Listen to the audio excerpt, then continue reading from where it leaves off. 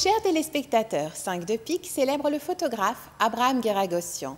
Né en 1872 en Palestine et décédé en 1995 à Beyrouth, Abraham Geragossian est issu d'une famille arménienne. Elle est installée à Jérusalem depuis plusieurs générations. Abraham Geragossian apprend la photographie auprès de Garabet Krikorian.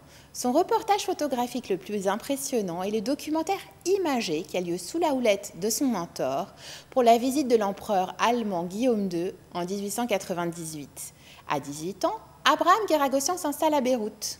Il collabore intensivement avec la Maison Bonfils et participe à immortaliser plusieurs événements officiels. Après le retrait professionnel d'Adrien Bonfils, Abraham Geragossian assiste Lydie Bonfils. Les épisodes que nous avons consacrés à Félix, Lydie et Adrien Bonfils sont disponibles sur YouTube. En 1905, le studio est détruit par un incendie. Lydie cède l'entreprise à Abraham Geragossian. Il la rebaptise Maison Bonfils. La belle preuve d'amitié mérite d'être mentionnée. En 1920, le studio est transféré à la rue Georges Picot. Le photographe fermera son atelier en 1939.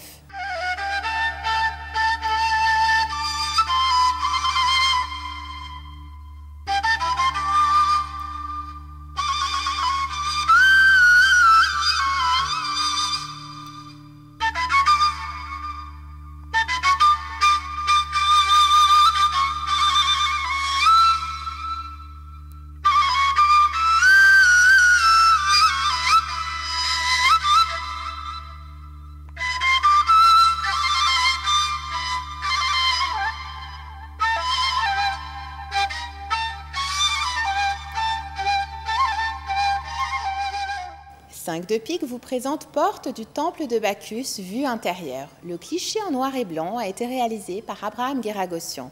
La photographie, comme toutes celles de cet épisode, est issue de l'album intitulé Balbach, 32 vues. Le recueil appartient à la collection Fouad d'Abbas, administré par le musée sur Soc. Le procédé employé dans cette image est celui de la phototypie. La technique de reproduction tient plus de l'impression que de la photographie à proprement parler. L'album n'est pas daté, mais il pourrait être attribué aux deux premières décennies du XXe siècle. La ville Soleil est composée de trois temples dédiés à Bacchus, Jupiter et Vénus. Celui de Bacchus est le mieux conservé du site. Il est aussi l'un des plus grands du monde romain.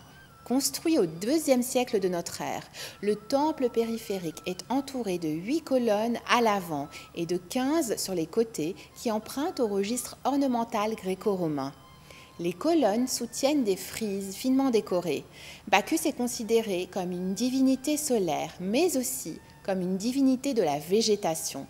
Les représentations de vignes et de pavots sont sculptées sur les montants de la porte du site. Elles ont d'ailleurs amené à attribuer le temple à Bacchus. Pour immortaliser ce site antique fabuleux, Abraham Geragossian opte pour une prise de vue contre-plongeante. Il se tient en contrebas et il oriente son appareil vers le haut.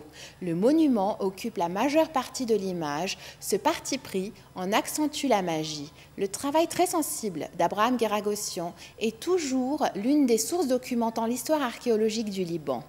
Il renseigne sur notre héritage patrimonial commun. Rendez-vous la semaine prochaine à la même heure pour partager 5 de pique, coproduction de la Fondation RAM et de Télé Liban consacrée à l'art entre réflexion et parfum de nostalgie.